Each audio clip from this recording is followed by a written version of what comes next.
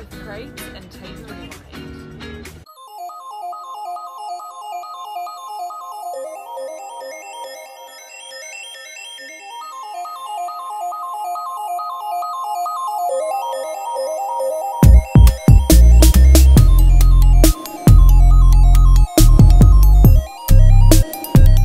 AP online exams start on Monday, May 11th. Students should plan on taking their AP exams during the May testing dates, as the June dates are makeup dates reserved for students with direct exam conflicts, technology problems during the exams, unexpected family emergencies, etc. If a student misses both the May and June exam dates, there will be no additional opportunities to take the exam this year.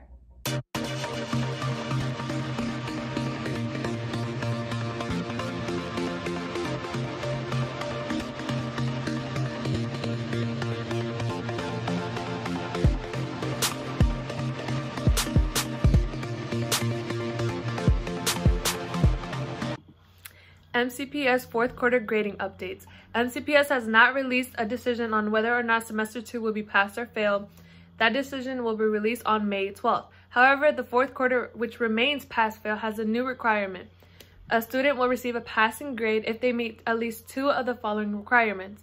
One, assignment completion. Completes assignments on a consistent basis, at least 50% of the assignments. Two, content and skills. Demonstrates understanding of concepts or application of skills on assignments turned into grades, skills, or other rubrics. Three, engagement. Consistently engages by attending scheduled teacher check-ins, ongoing communication with teachers, or other activities such as discussion boards or digital um, classroom activities. And four, teacher professional judgment. Based on the body of evidence and a holistic view of a student's performance within the context of the circumstances caused by the pandemic when it benefits the students. Stressed, anxious, and need of a little pick-me-up? Join the Place to Be Mindful, a new mindfulness and happiness club led by Ms. Schaefer. Each meeting will involve a brief meditation and a discussion of topics ranging from gratitude to how to deal with the fear about the future. To receive the Zoom link, email Ms. Schaefer at bethany.i.schaefer at mcpsmd.net. The Place to Be Mindful meets every Wednesday at 3 p.m. Although Montgomery County has one of the best education systems in the nation, not every child receives the same standard of education. Students Toward Equitable Public Schools is a Montgomery County-based initiative working to end that by combating de facto segregation and the opportunity gap. If you want to find out more information about the work they do, follow them on Instagram at moco underscore steps. Hey Titans, Lena here to talk about some Lit Mag updates. Sophomore Titan Lena Handelman's science fiction short story, Dragonfly, earned first place in the Baltimore Science Fiction Society Jack Chalker's Young Writers Contest. In her story, a woman working for a company that collects water from other planets to feed a dying Earth realizes that not everything she's been told is true. Want to read the whole story? Then you should buy the Lit Mag. Details about online Lit Mag pre-sales will be shared soon. Hi. Say hi. Hi. Hi, Titans. How's it going? Just wanted to bring you a little update because lots of people have been asking questions about the yearbook. Um, they want to know, can I still buy a yearbook? Are there any yearbooks left? Yeah, but less than 70, so you better act fast. Oh, only 70. Um, you can still buy your yearbook. Buy it online. You can either go to www.jostensyearbooks.com or you can buy it online through the school's online school purchase. Uh, so just look for the online school payment link on the Einstein website and you can buy your yearbook online, right? If you don't buy your yearbook, she's going to get upset, right? So buy your yearbook, act fast, and And don't worry, we will, even though schools are not open for the rest of the year, we will find a way to get the yearbooks to you. say bye-bye. Say bye. Bye.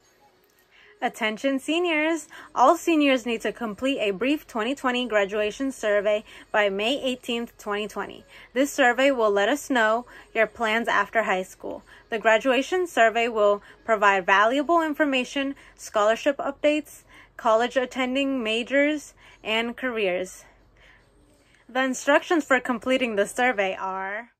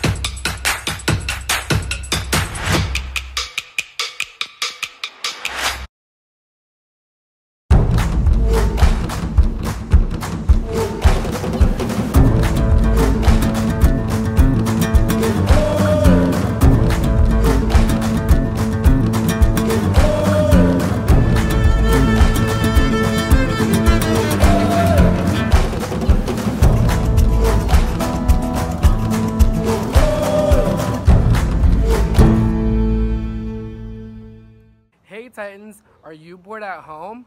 Want to look back at Einstein memories? Well, join others and do the Titan Rewind Challenge. This is how you enter. Make sure you fill out this checklist with as many memories that you have and nominate three people on the bottom.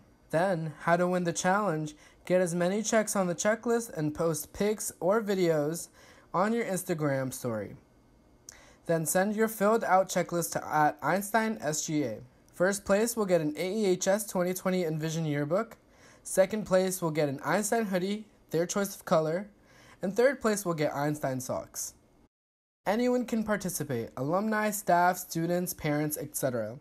Make sure to tag Einstein.sga on all the memories you post on your Instagram story. Deadline to fill out your checklist is May 16th, so make sure you fill it out and DM us at Einstein.sga on Instagram. Check out our Instagram at Einstein.sga for more information.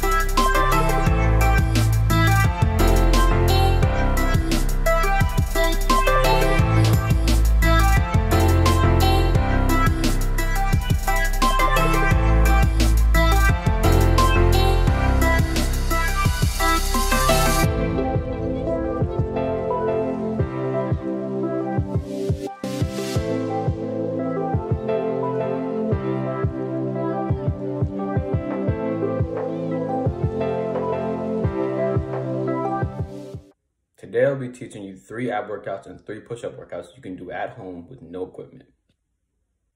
I'll be showing you three types of ab workouts. Hands like this, and you keep in this position for 45 seconds. The second one is a side plank, kind of like the first one. You just, but it's on your side. Keep this position for 45 seconds, and then switch to the right side. And then the last one is a Russian twist. Cross your, your legs in the air like this and you twist for 45 seconds. I'll be teaching you three types of push-ups. The first one is a normal push-up. The second one is a military push-up. It's closer. The third one's a wide push-up.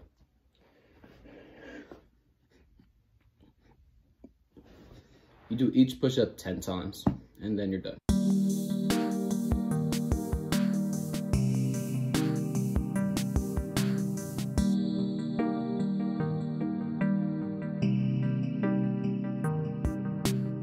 One of my favorite masks to do when I feel like my hair is dry and weak is using coconut oil and apple cider. Before you add the oil to your hair, you want to make sure you brush it out completely. Pour some water in your hair and then you can add the oil.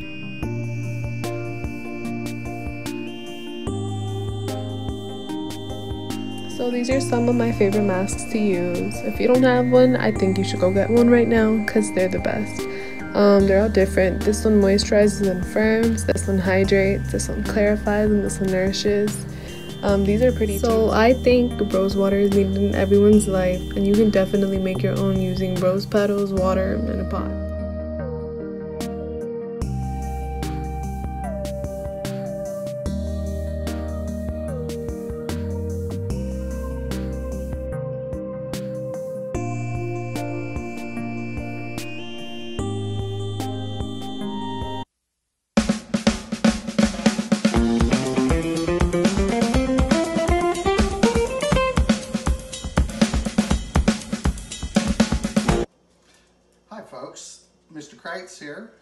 People at Titan TV um, heard that I was a chef, and so they asked me if I could do something that maybe you guys could make at home since we're spending so much at home. So I thought it over and I came up with uh, what one of my family's favorite dishes in the world is lovingly called the dip.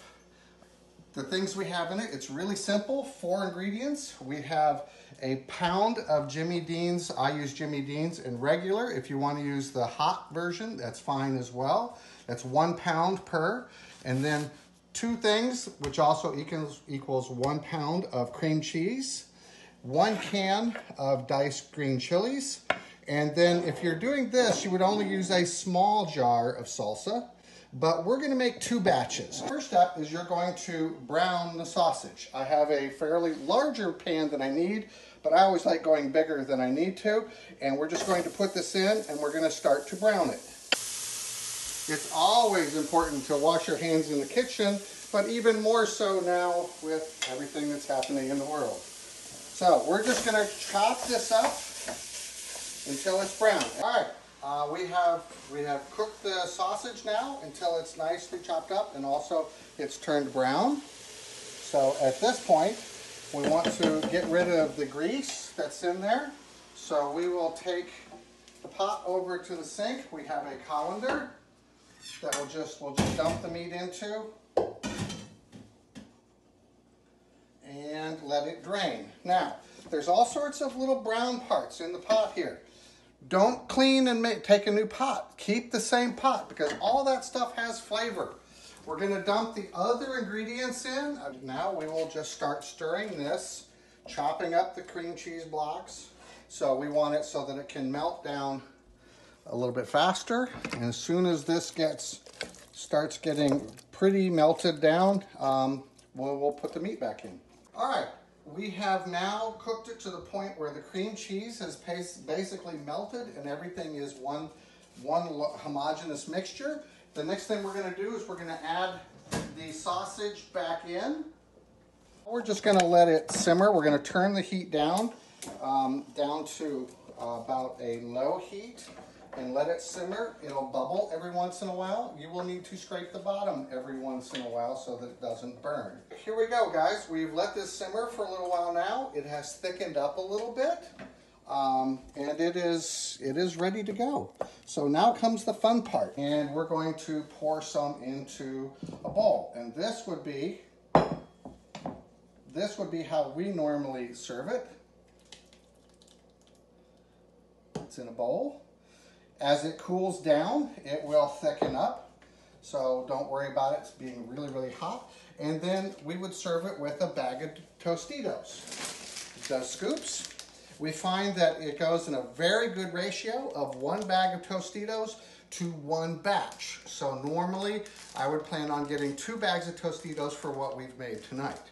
Okay, but once you get them, you just, the scoops are nice, you just go in and you pick it out. It's really, really hot at this point, in case you didn't notice from the steam, but this is absolutely one of our favorite things in the world.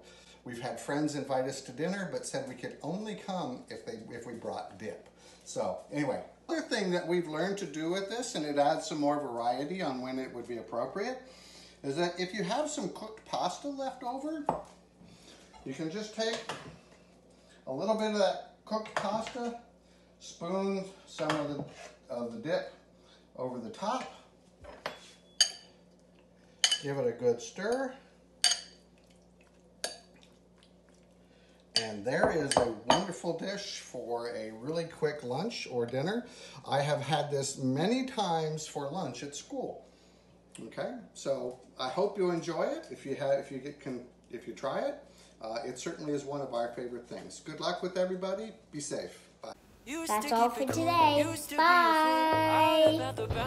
From the Titan TV crew. Thanks for watching. Have a great day, Titans!